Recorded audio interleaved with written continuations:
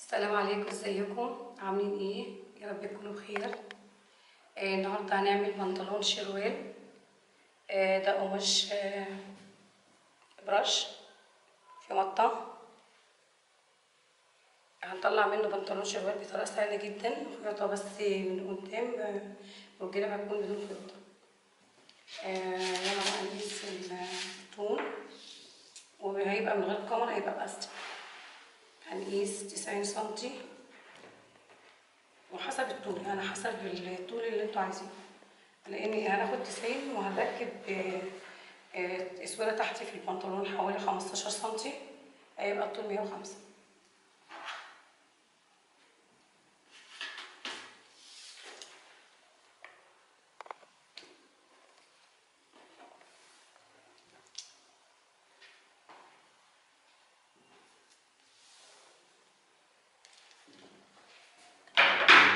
بص على طول أهو البنطلون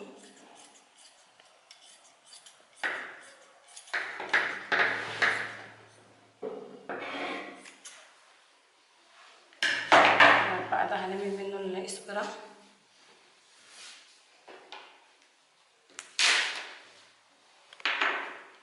عرض القماش مية وخمسين سنتي. قيس النص كده خمسة وسبعين. طبعا دوت هيلبس مقاس كبير جدا. يعني إحنا هنقدر نحط فيه منفصل هنجيبه كده. ده هيكون ال- الأمامي. مسحه شوية.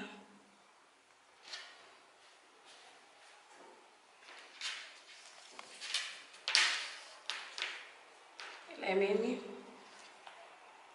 اتنين وتلاتين.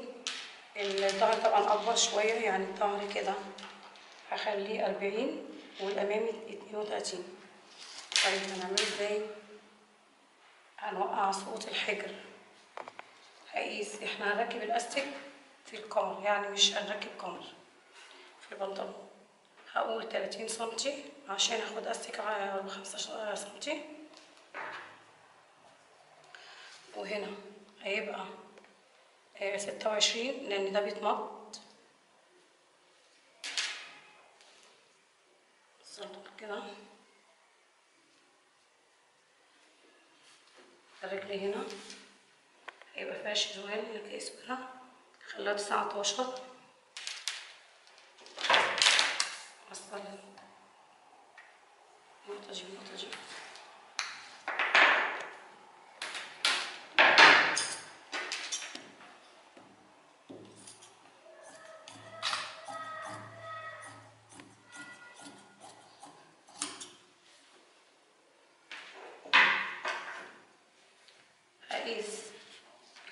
الداخلي هنا. هيبقى ستين سنتي هحط هنا نقطة. وطبعا بزود الخلفي عن الأمامي اتنين سنتي.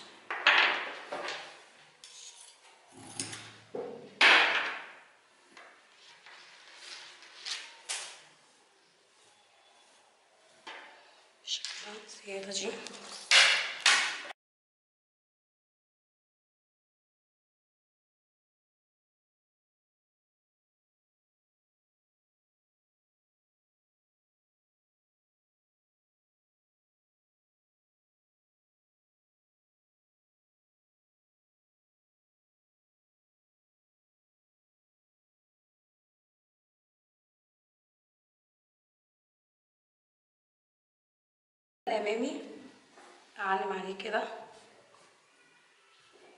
ده الأمامي ده الخلف. ده الخلف. علامة تانية. لأني هنركب هنا آه، دي هركبها كده.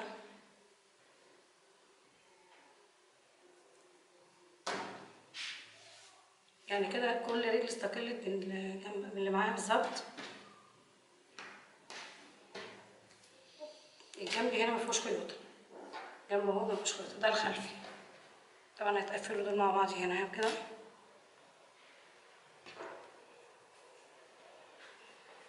ده الأمامي العلامة زائد قبل بقى ما نقفل هنعمل في الأمامي هنقصر الحاجة اتنين سنتي. بس حبيت أوريكم ده مفيهوش خياطه ده الأمامي. مع الأمامي أهو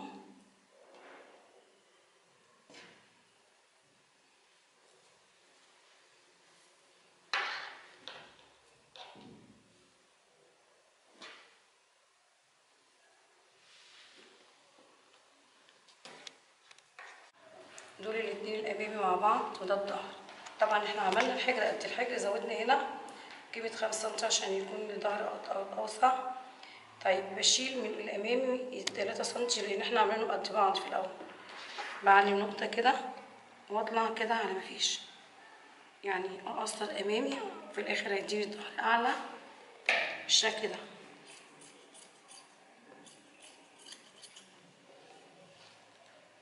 بس كده نقفله. هنشوف نقفله إزاي. هنعمل الاسوره وهنقفله مع بعض مفيهوش خياطه في الجنب طبعا كده هنعمل دي الاسوره طولها كده 30 سنتي. لما تتطبق اتنين هيبقى تلاقي 15 سنتي. وكده دول اتنين دول الاسورتين مع بعض. آه كام؟ 53 طبقها كده. بالشكل ده. البواقي اللي بقت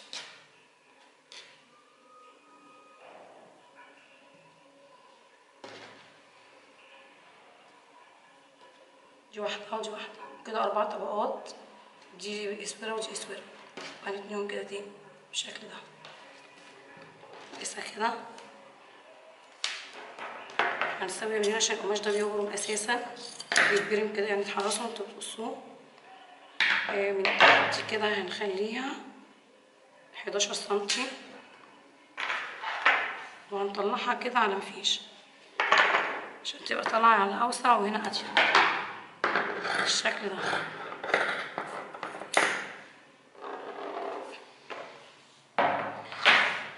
اهي كده؟ أنا اوريك اوريك هنقفلها إزاي؟ طبعا هنقفلها بطريقة سحرية.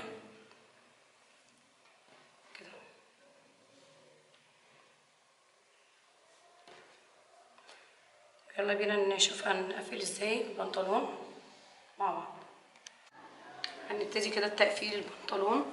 بص بقى عشان نتأكد إن ده الأمامي اللي هو حجره أقصر واخدين منه هنا 3 سنتي أو 2 على ما فيش ده الأمامي الاتنين دول الأمامي. هنعمل إيه بقى؟ طبعا البنطلون ده مفيهوش خياطة آه، في الجنب قلنا. هنشيل الفردة دي. بصوا سهل جدا جدا. نحطها هنا. هنجيب بقى الفردة كلها قطعة واحدة أهي مفيهاش خياطة لأن ده هيبقى شروال.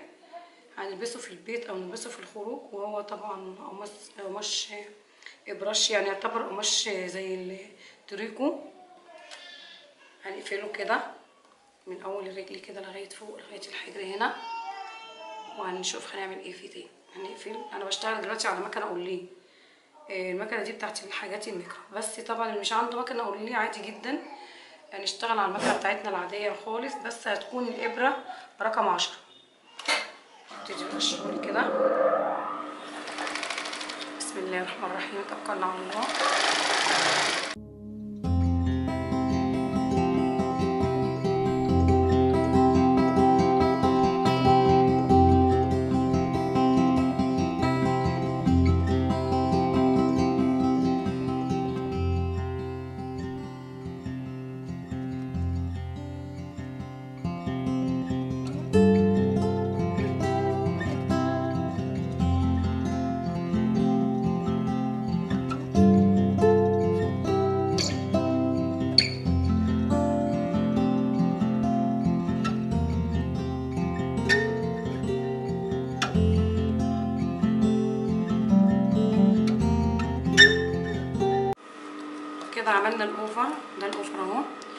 برضو الأوفر اللي مش عنده أوفر مش هنقول مش هيعمل بنطلون أو الكلام ده لأ طبعا. آه، اللي عنده مكنه زقزاق اللي هي بتعمل بتاع داته الاغراض اللي بتعمل تطريز وكده نقدر نعمل منها سرفلة. السرفلة يعتبر على الأقل إيه 50% من الأوفر. طيب ما عندناش نقدر نوديه للراجل يعمل لنا أوفر. ممكن نقفله كله وبعدين نوديه. آه هيبقى سايب بعض الأماكن ما اتعملتش بس مش هيجرى حاجة. آه، على الأقل إن إحنا مش هنقف. طبعا هو هنا مفيهوش خياطه في الجنب خلاص. هيبقى خياطه من ال- الداخلي الأمامي أهو مع الأمامي زي ما أنا حاطاه بالشكل ده. الأمامي أهو أقصر من الخلفي لأن الخلفي دايما بيبقى أطول عشان الأرداف. إحنا شلنا من الأمامي كده من 2 إلى 3 سم على ما فيش فاداني من ورا طبعا أعلى فكده البنطلون بتاعي بيبقى ناجح وفي مظبوط في اللبس. آه، الأستيك هيبقى منه فيه ملهوش كمر طيب هجيب الأمامي أهو مع الأمامي كده وهنبتدي نقفلهم. طبعا دي أهم حاجة الخياطة دي على الخياطة دي بالظبط كده. يبقى حاطين لها دبوس عشان برضو ما تهربش إنها تبقى إيه, إيه مش الخياطه على الخياطة. مش عايزين أي لوحة في الخياطة. وطبعا من الأول الدبوس نحطه فالشغل بتاعنا يطلع من من الأول للآخر صح. مش كده.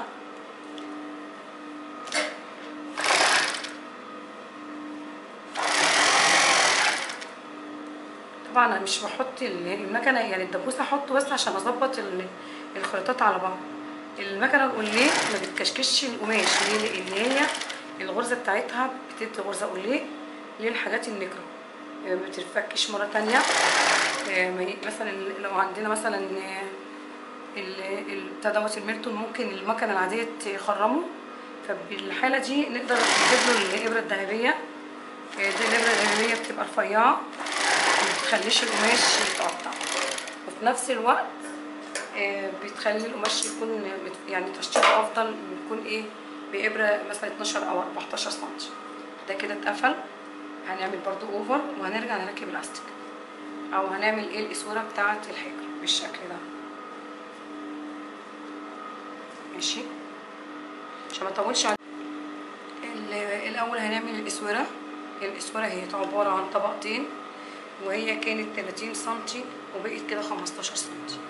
ده وسعها كلي بعد ما اتقصت بقت من تحت 23 وطبعا من فوق أكبر شوية. آه، بقيت 26 من هنا وهنا أقل لأن طالعة طبعا من هنا اضيق على اوسع طب الأسورة دي هنركبها إزاي؟ الأسورة دي هنستفيد منها حاجة تانية غير كمان ال- الأسورة بتاعت البنطلون. لو أنا هعمل هيكول بنفس الطريقة دي. إيه اللي هيكون؟ بنفس الطريقة دي طبعا بس طبعا هيبقى الفرق إيه؟ لو أنا عايزة أطول أطول آه بس برضو هي طبقتين وفي نفس الوقت باخده على قد مش على قد الرقبة بتاعتي على قد ما أنا عايزة حجمها هي كبيرة فبرسمها على شكل ال- الصدر كده. رقبة كبيرة آه، بنفس الشكل دوت طبعا بيبقى كده تكون أطول وهتتطبق كده. ماشي؟ طيب إحنا إيه لو عاملينها بقى كبيرة مثلا ممكن تبقى 40 تديني طول 20 إن أنا هتنيها على بره أو هعملها هيكون كبير يبقى له- جوه ديكوره كده. في نفس الطريقة. ماشي بس يبقى الا أكبر؟ أنا أنا فردتها أهي. بصي كده أهي هي كده الأسود اللي هي كده. أنا بفردها كده وبقفلها كده الأول. شايفين؟ قفلتها كده. أهي. بالشكل ده. الحتة أهي اللي هتبقى تحت اللي هي أدي أهي وهنا الاوسط هنقفلها بالطريقة دي وهوريكم بقى إزاي هنقلبها. وعشان نستفيد منها نحمل نعمل منها اللي هيكون فستان مثلا آه، البيزك هيبقى برقبه هيكون يا إما تيشيرت يا إما فساتين قصيرة شتوي يا إما أسورة بنفس الطريقة آه، الكود أو ده. يعني ده يعتبر كأنه كود. اهي عملناها كده. بص بقى هنقلبها إزاي. هنجيب دي كده أهي وهنقلبها شكل ده. يعني أنا قلت كده على أربع خمس حاجات بيتعمل منهم نفس الشكل ده. يعني نقدر اهي نلبسها كو آه، اسوره اهي بالشكل ده كده. طبعا هي ده كله لبس الشتاء بالشكل ده. هنا اهي متخيطه من جوه والناحية التانية مش باين الخياطة ومن القلبة نفس الطريقة هي مش باينة الخياطة. آه، وهي بتركب دايما على الكم وهو بعد ما بيتقفل يا إما آه، في الرقبة برضو بعد ما تتقفل نفس القفلة بالظبط بالشكل ده. هعمل لكم التانية برضو. عشان نحفظ ال- الرسمه بتاعتها إزاي بص كده آه، هنبتدي نركب الرجل هنا. بص قبل ما نركب الرجل طبعا الرجل دي قايسه لكم اهي كده بالظبط هي عاملة 17 سم لأن إحنا هنلمها كده. اللي عايزها ارجع يضيق. مفيش أي مشاكل. ماشي؟ هنفتح هنا علامة صغيرة كده. وهنعلمها بالمارك برضه احتياطي. يعني مش عايز يعلم يعلم كده. بس دايما القص- القصة دي بتخلي العلام ما يروحش. أول حاجة. اعلم طبعا الخياطه هنا علامة وهنا هقسم النص برضو بالمارك كده. أهي. ناحيتين. أول حاجة هجيب الخياطه دي جوه الخياطه بص هيتلبس كده. هندخله كده بالمعدول كده أهو على الناحية العادلة وإحنا هنا هنقفل الناحية القلبه الخياطه هنا على الخياطه واشبكها بطبوس. اللي هي أهم حاجة دي الخيوطه على الخيوطه هنيجي هنا بقى للحتة اللي فيها علامة اللي هو النص التاني اللي هو في الجنب. ده العلامة بتاعت الماركه أهو. وهنا العلامة اللي هي قصينها أو الماركه بقى. بحط دي على دي. وبرده بدبوس. ونبتدي بقى هنا نشد بقى ال- اللي هي أدي على أوسع تلمها. هنا بقى في وسع أهوت في الشروال. لأن طبعا الاسوره أدي عشان يبقى ملموم. هنلمه بقى وإحنا ماشيين. طبعا بتشدي الناحية اللي هي الفاضية دي اللي هي ال- الأسورة. هدي غرزه الأول كده في الجنب بعد كده ابتدي إيه؟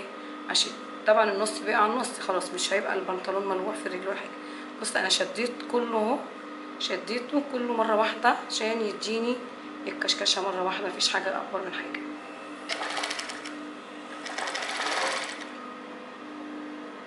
بوطي كده وأنا ماشية مع بعض خلاص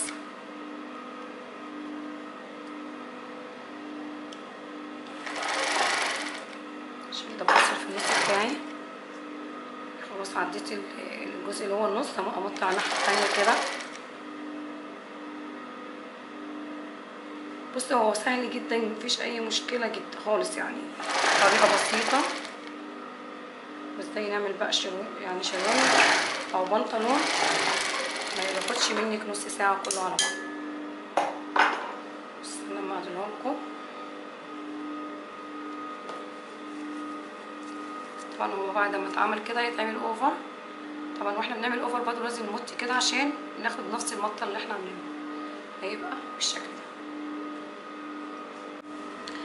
ده كده الشكل النهائي للإسورتين بتوع البنطلون. بالشكل ده بيتعمل over جوه طبعا.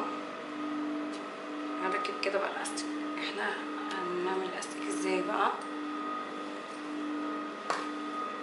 الاستيك هناخد مقاسه إزاي؟ بالشكل هنا كده. يعني هاخد المساحة دي للاستيك بالشكل ده كده وهتتطبق بالشكل ده. ده كده الوسط يعني ناخد المقاس اللي هنا عشان نعملي كده. اسيب بس سنتي زياده بس كده. هقفل ده هنا. هنثبت على الاستيك في البطونه كده.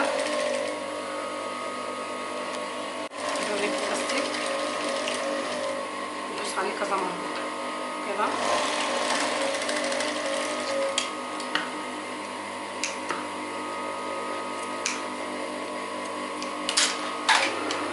طريقة اللي راكب الاستيك ده على الاوفر بالشكل ده.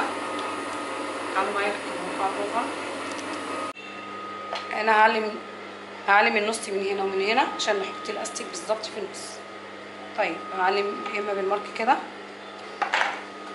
يا إما كده اهو دول الجناب وعندي الامامي هنا في خياطة والظهر في خياطة. الأستيك نفس الطريقة. ده هنقول جنبي من الجناب وأدي جنب تاني. وهنعمل ربع كده. هنعلم هنا ربع هنا في النص وفي النص في الخلفي أو الأمامي. أول حاجة طبعا هجيب اللي فيه الخياطة ده أحطه في الجنب عشان إيه؟ يبقى ما يعورش كده الجنب. أحطه هنا لدبوس جنب. وأحط الامامي هنا أو النص يعني الخياطة اللي هي في النص. الاستيك ده 3 سنتي. نقدر نحطه مقاس اللي إحنا عايزينه.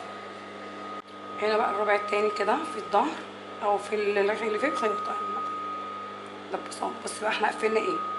ادي جنب وادي آه خياطة وادي خياطة وادي الجنب التاني. الاستيك ده بيتعمل إزاي بقى نشده كده بنفس الشكل ده. هنقفله هنا على الأوفر. بعد كده هندوس عليه على المكنة يا إما على القليه عادي. نشيل اول كده دبوس. أهو. شده كده كله بنقضي المسافة.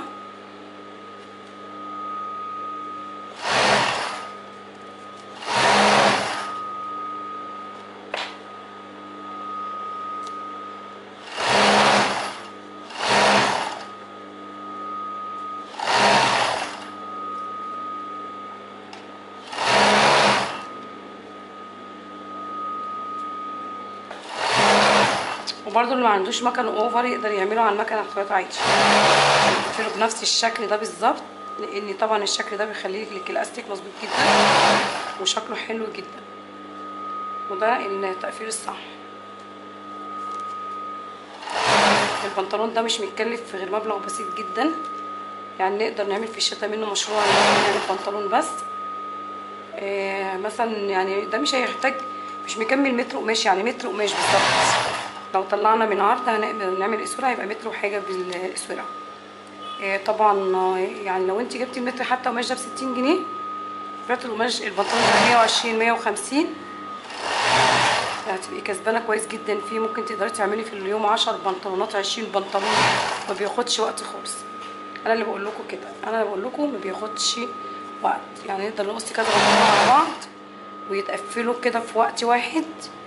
ونبيعه لو بينا ب 100 جنيه هيبقى انت كسبانه وطبعا ولو بيع كل ما تبيعي أكتر بسعر أقل انت كسبانة أكتر.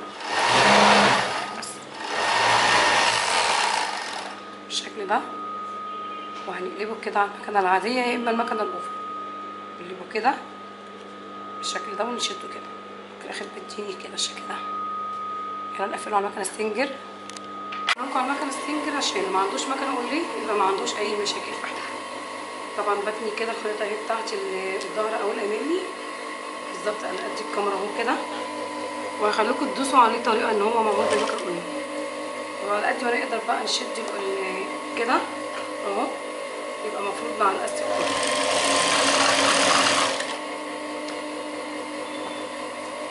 نظبط الناس كده كل الاستيك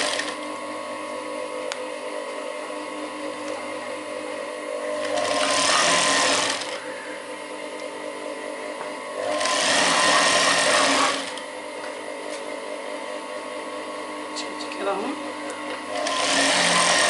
عشان كل ال- نشد كده بالظبط عشان كله يبقى فيه آه، منطقة الاستيك وناحية جافة كده اهو اعمل فرمطونة طلعه كده. بصوا الشكل ده هو برضه تاني اعمل لكم في حاجة تاني تخليه كأنه معمول مكان قليل ده الأستيك بالشكل ده بالنظافة دي أهو. طيب. إحنا هنا ال- الخياطة أهي الأمامية. هنيجي إيه؟ هنيجي هنا كده هنطلع حوالي سنتي وندوس عليه مرة تانية. سنتي واحد بس ليه؟ هيديني كده خياطتين كأني معمول يعني على مكان قليل أهو سنتي واحد كده. وأدوس بقى جنب عشان بالشكل ده.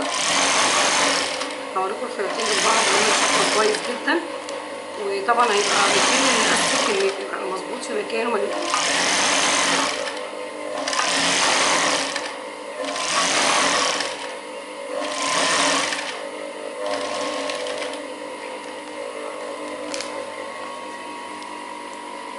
التاني بالشكل ده هوريكم على المكان اللي هو بالشكل ده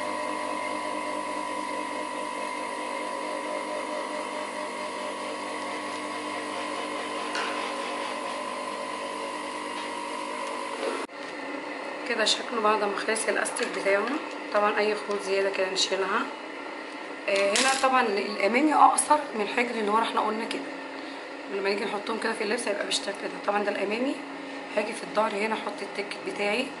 أحط ال ticket كده زي نصين. ممكن نحط طبعا مقاسه.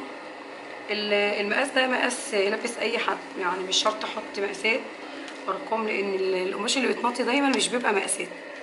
بيلبس من 40 كيلو لغاية 120 كيلو. كده